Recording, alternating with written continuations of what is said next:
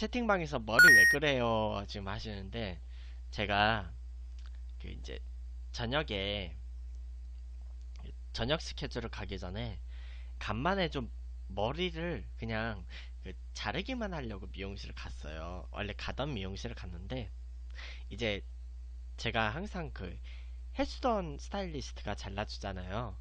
그래서 이제 되게 그냥 자르는 과정까지는 똑같았어요. 자르는 과정까지는 똑같았는데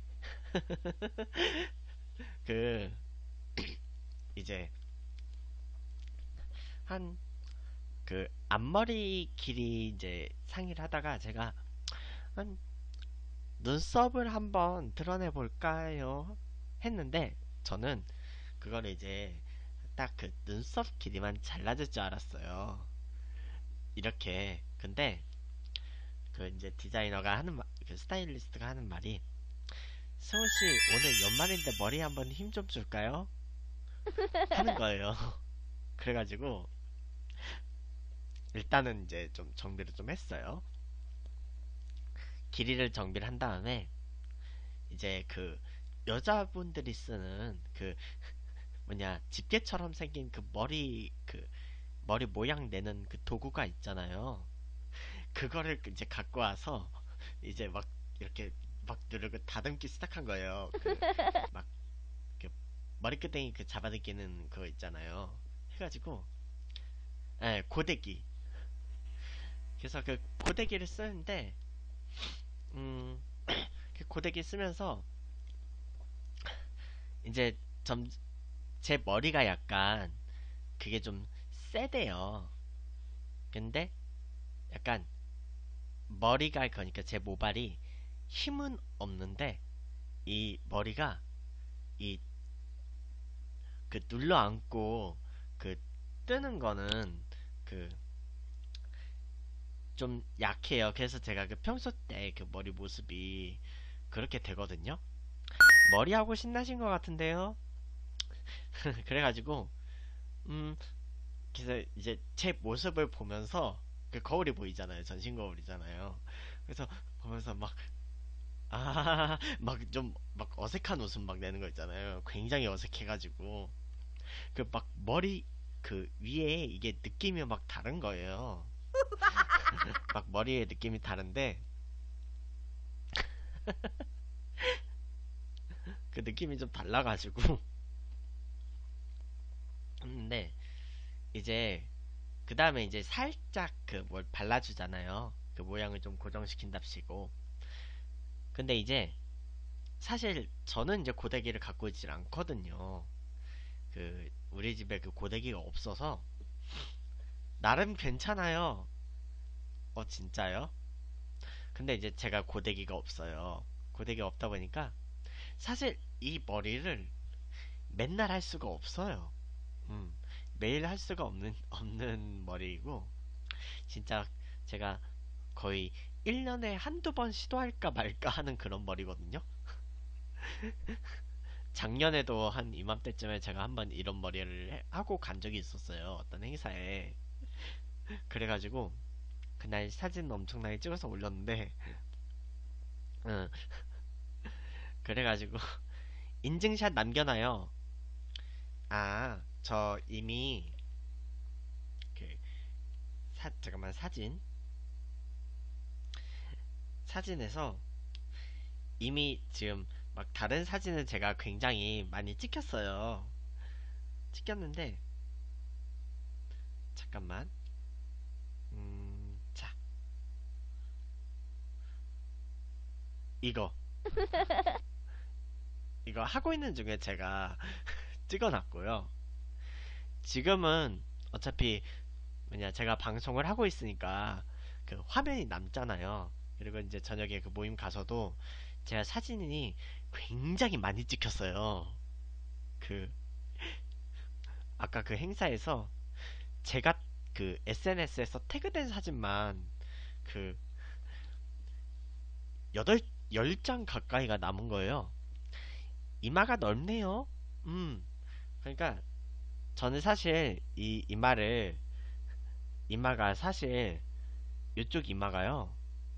그 중학교 시절에 좀 많이 벗겨졌어요. 중학교 시절에 좀, 뭐, 이마가 좀 많이 벗겨져서 사실 이 머리가 된 거예요. 그러니까 저는 이제 약간 막 이렇게 하면 그 왠지 대머리처럼 보인 것 같아가지고, 음, 어머, 어머, 어머, 어머. 나그 태그된 사진 또 올라왔나봐. 그래서 평소에는 제가 앞머리를 내리는 이유가 그거예요.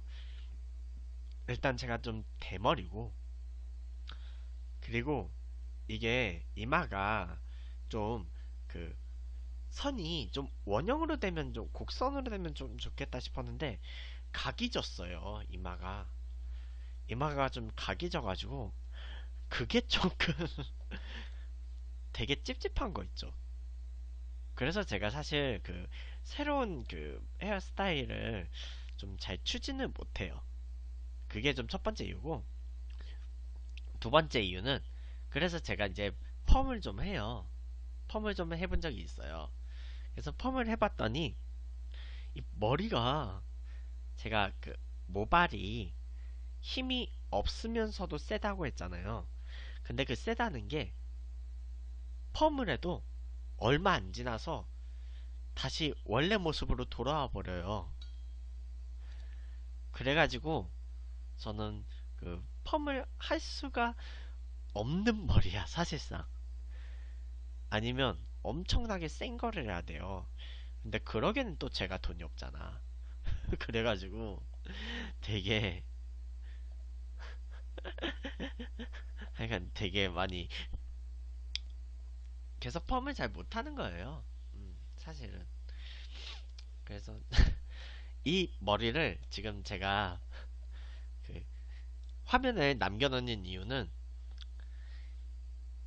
이거를 제가 그 하고 나면요 이제 씻어야 되잖아요.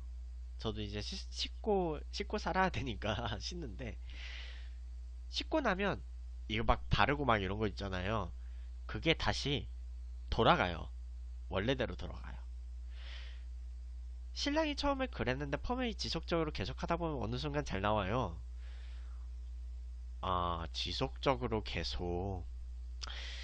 사실, 그러기에 투자하고, 투자할 수, 그러니까 제가 좀 약간 뷰티 쪽으로 투자할 수 있는 여력이 지금은 없는 상태이기 때문에, 네. 하여간, 좀, 이래저래 좀 고생하면서 그렇게 활동을 하고 있어요. 되게 좀 막 최대한 아껴가고 뭐 그러면서 살고 있기 때문에. 그리고 일단은 제가 집중한, 집중한 거는 이렇게 좀 뒷머리를 좀 많이 잘랐어요. 음, 뒷머리를 되게 많이 자른 거예요. 뒷머리가 항상 뭔가 좀 무성하대요. 뒷, 뒷머리가 되게 많이, 많이 자란대요, 저는. 제가 뭐, 음, AV를 보고 산 것도 아니고, 음, 그렇다고 뭐 그 야한 생각하면 머리가 빨리 자란다는 그런 속설도 그게 과학적으로 증명이 안 된 거래요. 뭐, 물론, 제가 그렇게 좀 다른 남자들에 비해서 좀 성욕이 없거나 좀 그렇긴 하지만, 하여간, 이게 머리가 제가 앞하고 옆은 사실 그렇게 빨리 안 자라거든요.